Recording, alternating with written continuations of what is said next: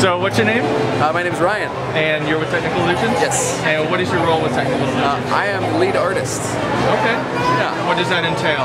Um, doing all of the art. So uh, everything from designing the product concepts, uh, which have just gone up on the website, to uh, doing 3D modeling for games, uh, animation levels, um, website stuff. Pretty much, yeah. Okay. It's a small company, so there's a lot of stuff to do. Understood. And uh, this model here? Uh, these are actually the older SD glasses, um, so these have been seen before, uh, but we created a brand new application just a couple of days ago.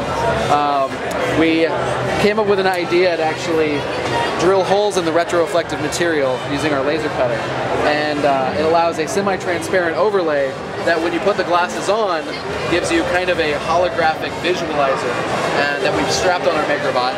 So when you're actually looking through the glasses, you see the interlocking pieces that go with this. I see. And uh, right now you can't see it, but when you hold these up, if you hold it still, it tracks it in 3D space. Oh yeah.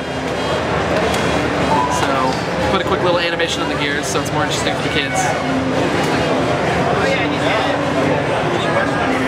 And of course you got, you know, the stereoscopic cameras, you've got your tracking, and uh, once you put them on, you can actually visualize what you're going to print before you print it, um, which for me as an artist, not an, engineer, I know engineers do everything in scale and, you know, your millimeters and stuff. For me, I kind of do things in arbitrary type scales.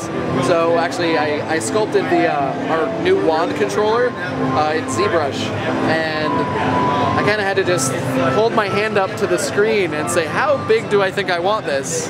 Well, with this application that we just whipped up the other day, I'd be able to like kind of reach in and kind of wrap my hand around the uh, the holographic style image, and then scale it up or scale it down and see how it fits with different people, things like that. Um, and so that's just the first thing we've used this for with our MakerBot. Um,